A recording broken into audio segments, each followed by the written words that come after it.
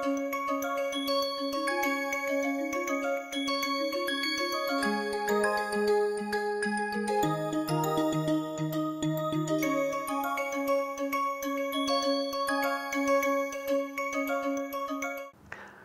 everyone. Uh, I would like to welcome you all for today's lecture. We will briefly look at what we uh, discussed last time.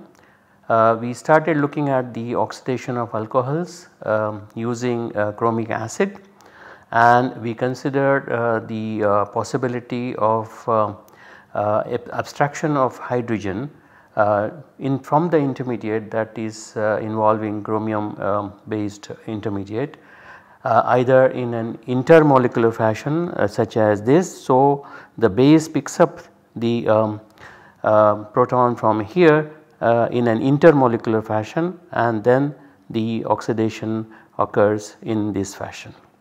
This was one possibility that we considered after the uh, alcohol reacts with the um, chromic acid and it forms uh, this intermediate. Uh, alternatively, uh, the, the same intermediate can also undergo an um, intramolecular uh, proton abstraction and that uh, can happen in this fashion uh, so that the uh, same intermediate that is formed. So, from chromium 6 we started and we get the chromium 4 as one of the intermediates and of course the aldehyde comes from the corresponding alcohol. So, this is what we discussed uh, last time. Now, um, the, the uh, abstraction of proton uh, in an intermolecular or intramolecular fashion is something that we need to establish. It is very difficult to do that uh, with chromium based intermediates because the reactions are very fast and it is very difficult to carry out uh, such reactions, but uh, whether such oxidations involve intermolecular or intramolecular proton abstraction has been studied uh, using uh, sulfur mediated oxidations. Now we look at sulfur mediated oxidations and one of the uh, most important and very popular oxidations involving sulfur based uh, intermediates is uh, Swern oxidation.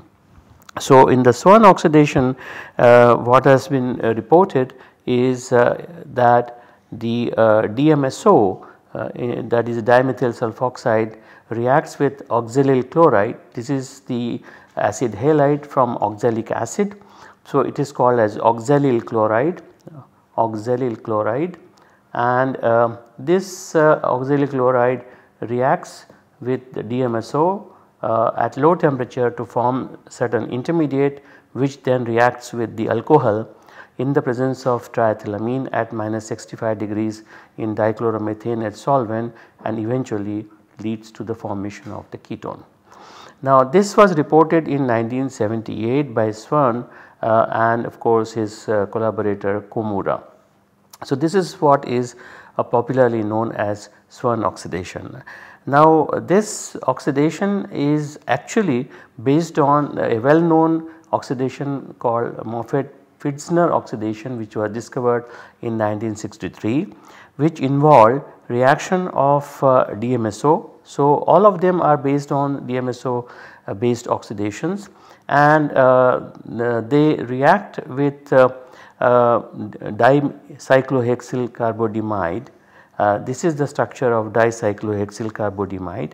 As you can see that the, the carbon atom here is flanked um, basically uh, by two uh, uh, nitrogens by double bonds and therefore this particular carbon atom is highly electrophilic particularly under the presence of catalytic amount of an acid such as phosphoric acid. Now this was discovered in 1963. Uh, based on this the oxidations of alcohols were reported. And subsequently uh, in 1964 uh, Barton reported the use of phosgene which is a gas at room temperature with the boiling point being 8.3 degrees centigrade in place of DCC. However, the use of phosgene is not very convenient and therefore it did not become very popular this reaction. but the uh, Moffatt-Pfitzner oxidation was actually carried out uh, uh, by, by a lot of people in their oxidation uh, endeavors. Now the intermediates which are involved in uh, these kinds of oxidations are, um, uh, are very closely related to another oxidation known as Kornblum oxidation. So um, what are those intermediates? Uh, we will we'll look at those intermediates a bit later, but the first let us see how the mechanism of the Moffatt for Pfitzner oxidation and very closely how the Barton oxidation has been uh, also uh, looked at it. So, uh, as I mentioned the dicyclohexyl carbodiimide which is DCC uh, uh, is having two nitrogens and one of the nitrogen uh, gets protonated with the phosphoric acid that we use it here and uh, it forms an intermediate or the protonation. So, if we write cyclohexane as Cy then what it would look like it would look something like this and this gets protonated and then you have a positive charge on the nitrogen. This makes uh, this carbon uh, much more electrophilic than the original DCC because the positive charge here uh, on the nitrogen would, uh, would like to get uh, neutralized when the alcohol attacks on it. So, if or the DMSO attacks on it. So, first DMSO attacks uh, so you have a DMSO here, your methyl here and the methyl here. The DMSO O minus attacks onto this carbon. This is how it is shown here. So, when DMSO attacks onto this carbon which is now um, uh, having a nitrogen protonated. So, this is the intermediate that is going to, to come out. This is a very crucial intermediate and again now the nit second nitrogen gets protonated and again forms the same ammonium ion like, like what we have written here but now on the other nitrogen and again this carbon becomes uh, very electrophilic and um, uh, at the same time now the alcohol reacts onto the sulfur and this carbon uh, oxygen sulfur bond breaks and the new carbon oxygen bond is formed because the carbon now is electrophilic because of the protonation of the nitrogen here. And therefore, uh, the um, what is proposed is that the, the dihydrogen phosphate ion which comes out after the loss of proton from here in, in, both the cases the protons are basically lost. So, you have uh, dihydrogen phosphate anion that picks up the hydrogen from here that picks up the proton from here and the negative charge of the oxygen from the alcohol then reacts with the sulfur and then this bond breaks. Thereby now the phosphoric acid is again regenerated by the abstraction of this particular proton and of course the nucleophilicity of the alcohol becomes larger. And that leads to this particular uh, intermediate uh, and uh, this intermediate as it was proposed earlier is that again base which is present in the reaction medium uh, you have this uh, dihydrogen phosphate and that can pick up a proton from here and then oxidation can uh, occur in this fashion to give uh, the ketone and then as you can see the dimethyl sulfide goes off and of course you regenerate the phosphoric acid. Now the uh, only thing what happens is that when this uh, dicyclohexyl uh, carbodiimide uh, is protonated and, and then of course you lose the oxygen from the DMSO then you form a carbon oxygen double bond and this is what leads to the formation of this dicyclohexyl urea. This is a urea having two dicyclohexyl uh, parts. So, uh, this is uh, something uh, which is an, an important byproduct but then this particular byproduct does create some problem which we will talk in a minute. But here what I would like to mention is that this particular intermediate which is shown in blue and another intermediate this shown in this blue also are very crucial intermediates. Now as uh, these crucial intermediates and this dicyclohexyl urea are the ones which uh, are worth considering. Now what happens during the, re the reaction that this dicyclohexyl urea uh, becomes uh, difficult to remove uh, while purification of the ketone is being done. So, uh, many people did not want to um, prefer to use dicyclohexyl carbodiimide because of the difficulty in separating dicyclohexyl urea. So, originally there was no base that was used uh, therefore, the reaction took a bit longer time, but later on they started using trifluoroacetic acid and pyridine as a combination in which trifluoroacetic acid protonates the dicyclohexyl carbodiimide and of course pyridine acts as a base and thus the reaction gets facilitated. In general the DMSO is used in excess and of course as you can see that the main role of the DMSO um, um, is of course to get activated by DCC. So, the DCC activates the DMSO forming an intermediate of uh, this type where you can say that E is a part of the dicyclohexyl carbodiimide and therefore you have a positive charge here. So, this is the uh, actually role of DMSO. So, the oxygen of the DMSO gets activated by the DCC and then your alcohol attacks onto this carbon and this goes as a leaving group. We will look at it these intermediates a little more carefully and uh, the Barton's oxidation with phosgene is also somewhat similar. So, there your DMSO attacks on um, on uh, phosgene and the phosgene is nothing but this um, particular um, compound where there are two chlorines attached to a carbonyl group. And this is what is uh, the phosgene and it is acting like an electrophile uh, and DMSO attacks onto this uh, carbon and leading to the formation of this intermediate. Now this intermediate of course these reactions have to be done at low temperature and uh, once this intermediate forms uh, it is expected that such an intermediate can uh, lose carbon dioxide and of course chlorine and forming uh, after the loss of carbon dioxide uh, this intermediate here and this intermediate now has uh, the sulfur as positively charged and there is a leaving group which is the chlorine. Therefore, the um, alcohol attacks onto this particular intermediate and leading to another intermediate of this kind. Now, if you look at very carefully whether you consider this as an intermediate or this as an another intermediate and the second intermediate is this kind.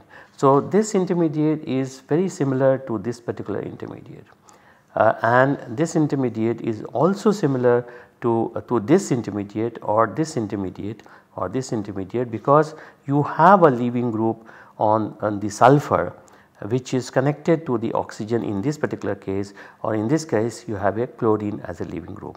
So, both these crucial intermediates which I have been mentioning right from the beginning whether it is a Moffatt-Pfitzner oxidation or the Barton oxidation are similar in nature. Now, um, if we uh, go back and look at uh, the literature so, basically uh, these intermediates which I have mentioned as crucial intermediates of two different kinds are essentially related to yet another very important oxidation which was the, the basis for all the oxidations involving sulfur is known as Kornblum oxidation. So, it was Nathan Kornblum who actually uh, discovered this is in 1959 and this particular um, oxidation is also based on sulfur and of course all the sulfur based oxidations involving DMSO should uh, definitely give credit uh, to uh, Kornblum. So what was the Kornblum oxidation? The Kornblum oxidation involved the reaction of uh, say primary tosylate or uh, a uh, bromide of this kind. to start with of course the reactions were carried out using very good leaving groups on a primary uh, carbon atom. The reason was that in these cases the reaction uh, requires the, rea the use of DMSO in the presence of a base like sodium bicarbonate at high degrees 150 degrees. So, in these cases what happens is the DMSO acts like a nucleophile and um, uh, reacts uh, at say for example here in an SN2 fashion and leading uh, to uh, an intermediate of this type here as I have shown it here. And in a similar fashion if you take it here then of course you will have similar uh, intermediate like you have O R CH2 CH2 CH2 and then of course you have oxygen and then you have the um, uh, DMSO reacting like this and of course OTS will go as a uh, leaving group here. So, in all these cases as you can see the leaving group once it leaves the carbon the, the DMSO uh, oxygen O minus attacks and this is the carbon and of course this is the carbon where DMSO is attacked. Now this intermediate which I have shown it here is very similar to the crucial intermediate that we had talked in in uh, Moffatt Pfitzner oxidation and uh, the another one is of course this one. So, this is related to this particular uh, intermediate. So, this intermediate here is very closely related to this intermediate as you can see that there is a carbon that holds a hydrogen, the carbon that holds a hydrogen here, here and of course you have oxygen, then you have a sulfur positively charged and of course you have the 2 methyls. So, the base can pick up the proton as I have shown it here and, and the oxidation uh, completes by the loss of dimethyl sulfide as we have discussed in other cases. So, uh, uh, so this particular intermediate as um, shown here is similar to the intermediate that shown here even in Barton's oxidation. So, both in Barton's oxidation as well as in Moffatt-Pfitzner oxidation the last intermediate is uh, very similar to the intermediate that is uh, formed in Kornblum oxidation. Except that that uh, in the case of uh, oxidation the uh, first intermediate uh, directly comes with having an oxygen here because uh, the DMSO is the only as a nucleophile that is acting. Whereas in the other cases like Pfitzner Moffatt Pfitzner oxidation or Barton's oxidation we activate the DMSO to form electrophilic sulfur to which alcohol attacks and gives the similar intermediate as, as we see in the Kornblum oxidation. Apart from uh, Kornblum and Mo Moffatt-Pfitzner oxidation and Barton oxidation, Parikh and Doering also reported in 1967 uh, a reagent using pyridine sulfur trioxide and uh, in a similar fashion the oxidation takes place. So, DMSO interacts with this pyridine sulfur trioxide complex where now you have a electrophilic sulfur another electrophilic sulfur and a leaving group is this pyridinium ion. So, the O minus attacks onto this sulfur pyridinium ion goes and this is the intermediate that is formed to which the alcohol attacks uh, where the pyridine takes up the proton from here. So, pyridine can take up a proton from here and of course you generate the anion of the alcohol which goes and attacks onto this and then you have um, the, uh, this intermediate that is formed uh, of course pyridine is still present there and then pyridine can pick up a proton from here and then oxidation can take place with the loss of dimethyl sulfide. So as you can see it is very similar to uh, the, the oxidations that we have discussed earlier and uh, this is another crucial intermediate here uh, and this is another crucial intermediate. So as we have been naming all the crucial intermediates they are similar to um, this is the Moffatt-Pfitzner oxidation first crucial intermediate, this is the second crucial intermediate. In Barton oxidation this is how the one intermediate forms and then rearranges to this crucial intermediate and this is the second crucial intermediate after the alcohol attacks. So, in place of DCC phosgene pyridine sulfur trioxide many different electrophiles are used such as acetic anhydride, trifluoroacetic anhydride uh, and of course trifluoromethane sulfonic anhydride. So, you have CO2O or you have um, uh, CF3 SO2 twice O. So, uh, basically these are the various kinds of uh, uh, intermediates which are used and of course this is the, uh, the reference that you can see which is, gives the details of these oxidations.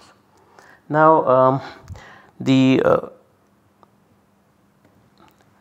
uh, if you if you look at it very carefully what we have seen it is that DMSO based oxidations in general can be written up like this. That DMSO reacts with an electrophile whether it is DCC, uh, phosgene or pyridine sulfur trioxide uh, or anything of that sort you get uh, basically activation of the uh, uh, DMSO by the electrophile and leading to this intermediate here to which to which the alcohol attacks and forms this intermediate from where the uh, aldehyde or the ketone gets released along with dimethyl sulfide. So, essentially what is happening is uh, whether the EX is uh, phosgene, DCC, pyridine sulfur trioxide or oxalyl chloride or acetic anhydride or trifluoroacetic anhydride any other electrophile. And of course, the intermediate is comparable uh, with the Kornblum type of oxidation here. Because this is the crucial intermediate which then uh, undergoes uh, loss of proton and along with dimethyl sulfide here to form the uh, carbonyl group.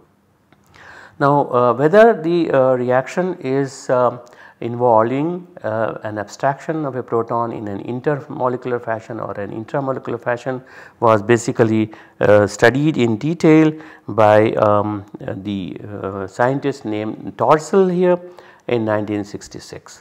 What he did of course as uh, we have seen in general that DMSO gets activated with an electrophile forming this intermediate to which the first crucial intermediate to which alcohol attacks and forming this second crucial intermediate from where either this proton can get abstracted uh, essentially to uh, lose dimethyl sulfide and give the ketone. But then is there a possibility of removing this proton first uh, because this uh, carbon is uh, next to the sulfur which is positively charged.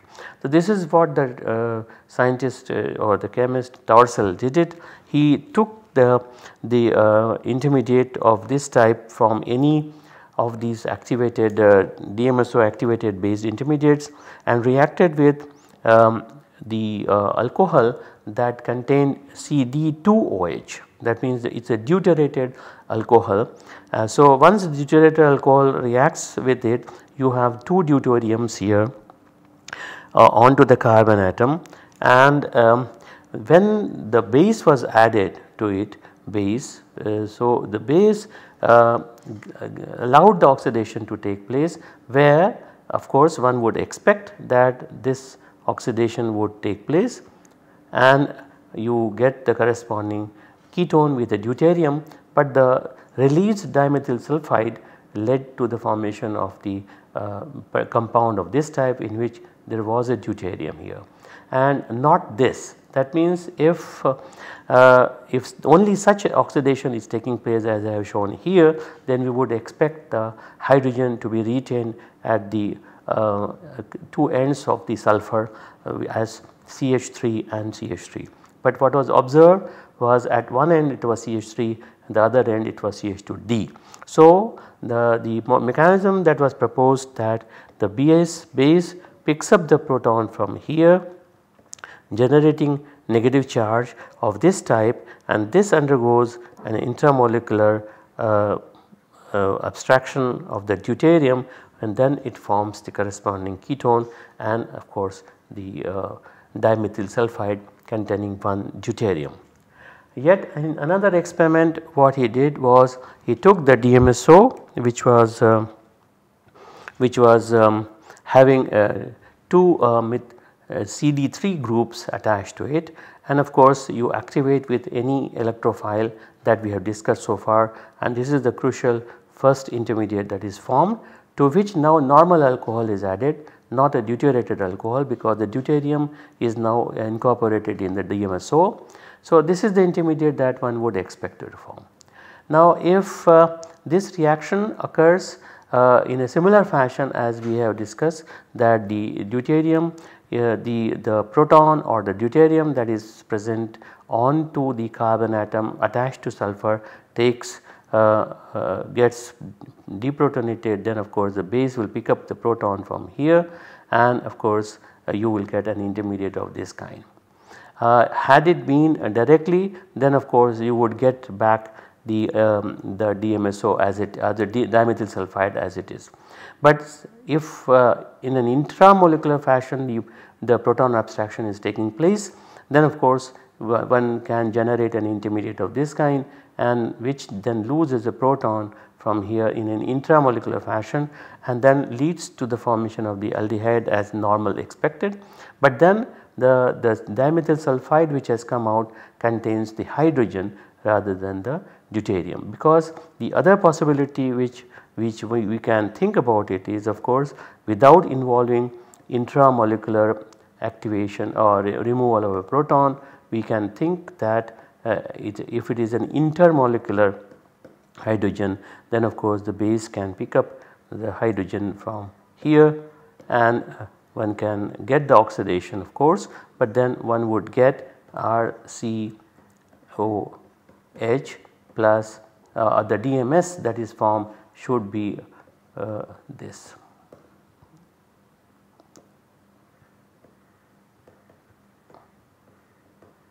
carbon here.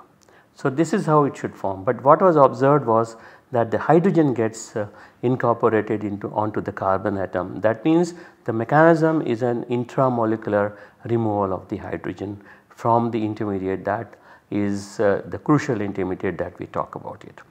So, uh, having established this particular type of uh, intramolecular abstraction of a proton then of course many more oxidations have been reported and it was finally uh, Corey and Kim who uh, also utilized Uh, conceptually similar uh, but somewhat different starting materials. For example, one can also uh, get this uh, intermediate which we call it as from the crucial intermediate uh, which is what is comes from the dimethyl sulfide and here you have a leaving group here. So, this is the intermediate that is expected to form and the all and derive from the DMSO to which alcohol reacts and forms the next intermediate that allows uh, the uh, formation of the ketone or aldehyde depending on what alcohol one uses but then you have this intermediate which is what is formed. So, uh, in order to get this intermediate of course you have an X minus. In order to get this intermediate one can also start not from DMSO but one can also start from say for example dimethyl sulfide and react with some electrophile such as halogen and generate um, an intermediate of this type here which can also act as, as a good uh, intermediate crucial intermediate to which alcohol can react and of course can form the intermediate of this kind which eventually gives the aldehyde or ketone. So, this was uh, developed by Corey and Kim which we will discuss in our next class more in detail. So, uh, you please go ahead and complete uh, look at whatever I have discussed today and get ready for the next class till then bye and see you next time bye thank you.